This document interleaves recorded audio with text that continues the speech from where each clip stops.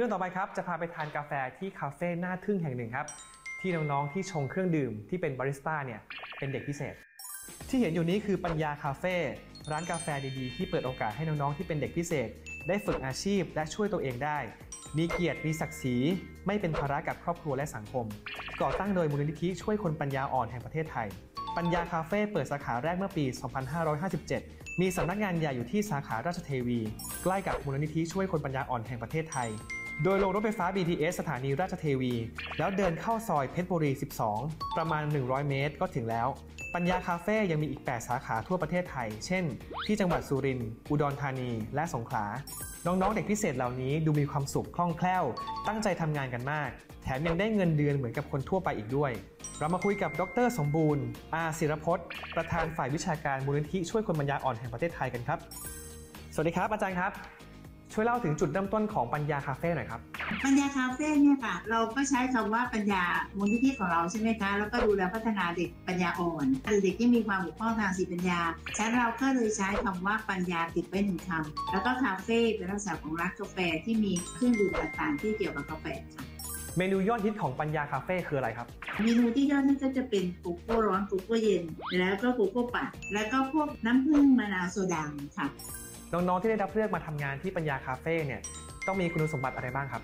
เด็กเราจะเรียกเด็กที่โตแล้วนะคะ แล้วก็เด็กที่มีความสนใจเกี่ยวกับเรื่องการทำเครื่องดื่มนะคะ ประเด็นที่สองก็คือเป็นเด็กลักษณะที่ต้องมีความสะอาดและมีความซื่อสัตย์ในการที่จะมาทำงานตรงนี้ค่ะ เนื่องจากว่าน้องๆเป็นเด็กพิเศษ ต้องใช้เวลาในการฝึกน้องๆเหล่านี้นานไหมครับเออเด็กต้องรับการฝึกนะคะบางคนฝึกเป็นปีค่ะกว่าจะทำได้นะคะ ฝึกใช้เวลาฝึกมากกว่าเด็กคนทั่วไป แล้วก็ที่สำคัญคือกลุ่มพวกนี้เขามีความบกพร่องทางสติปัญญาฉะนั้นความสามารถทางสมองเขาจะน้อยกว่าคนปกติทั่วไป แต่ว่าเราก็ต้องมีระบบโคชชิ่งนะคะมีระบบของคนปกติที่มาช่วยควบคุมในการทำงานของเขาด้วยค่ะ จุดแข็งหรือความพิเศษของน้องๆเด็กพิเศษคืออะไรครับ เด็กกลุ่มพวกนี้เป็นเด็กกลุ่มบกพร่องทางจิตวิญญาณเนี่ยจะทำอะไรที่เป็นงานซ้ำๆได้ค่ะ แล้วก็สนใจ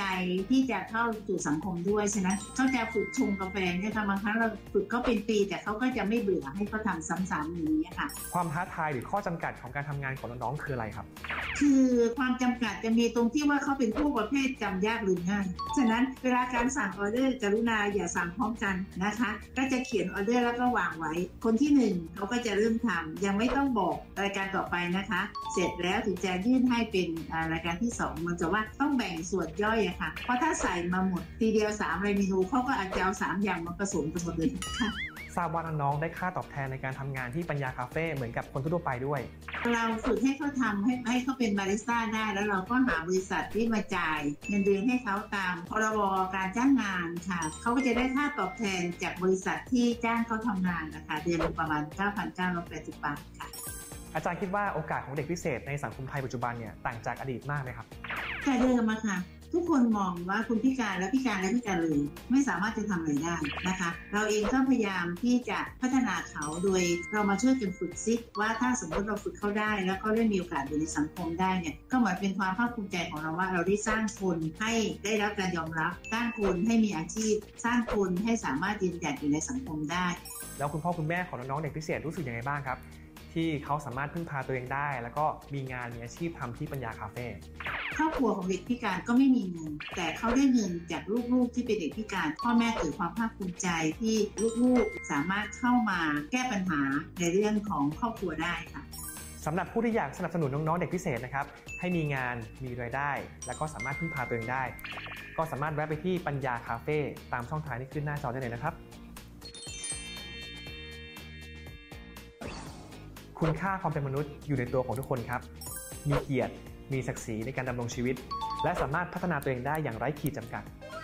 เป็นกำลังใจให้กับน้องๆทุกคน